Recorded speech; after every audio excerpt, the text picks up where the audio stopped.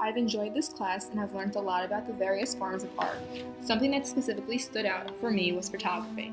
I always thought that photography was a way to remember a momentous occasion or family vacation. I did not realize that it could be complex and hold a real value. This course had shown me that within the mundane you could also find artistic meaning. I had originally viewed photography as a fundamental step by step process in which you could break down a piece of work systematically. There are so many aspects that are used in photograph in order to make it a spectacular piece of art. Using different techniques of lighting, focus, focal point, light and shadow, and angle, a photographer can expand the image and its meaning. Exactly. For me, MHC has been extremely influential in my interpretation of photography. The various exhibits, performances, and discussions have also helped me understand art in a different light. I have found that art is not only valuable, but inherently interesting, especially photography. Photographs can be used as evidence, which is seen daily around the world, with constant video cameras and recordings. Susan Sontag believes that photographs hold as proof of an event, and that picture taking is an event in itself.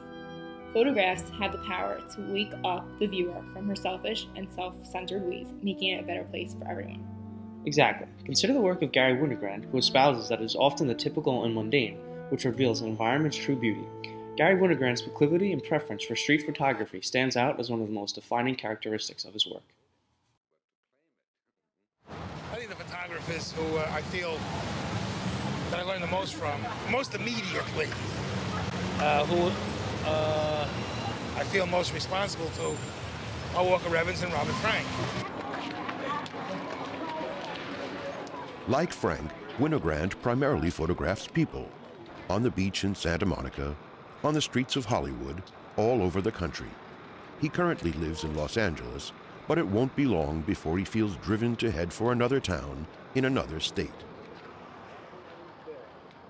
Winogrand doesn't want to have the multifaceted way he tackles reality pinned down in categories. I, I, hate the term. I think it's a stupid term, street photography. I don't think it, it makes any, it, it tells you anything about a photographer or work in a way. Um, Winogrand maintains that the problem in photography doesn't consist of taking a pretty picture.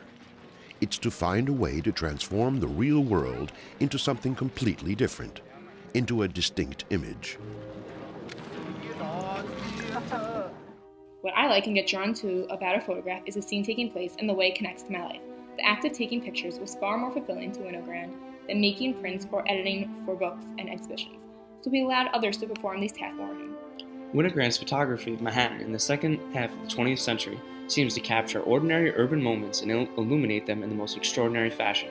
One could legitimately contend Winogrand's eye for finding beauty assimilated in everyday city scenes is unparalleled. Winogrand photographed life in America after the war and the events that occur on a daily basis, including businessmen, women on the street, famous actors and athletes, hippies, politicians, soldiers, animals in zoos, rodeos, car culture, airports, anti-war demonstrators, and the construction workers who are beating them to a move police. In fact, Winogrand exemplifies through these different scenarios the critical notion that photography is the sum of its parts and not the other way around. Each segment distributes further understanding while no sole object in this photography is personified above its counterparts. Michelle and I can both agree the example of Winogrand's work is just a small illustration of MHC's 100's effectiveness in changing our attitude towards art. In the end, you must give credit to our dear professor, Mrs. Klich, who has irreversibly and thoroughly transformed our overall outlook, perception, and interpretation of art and photography.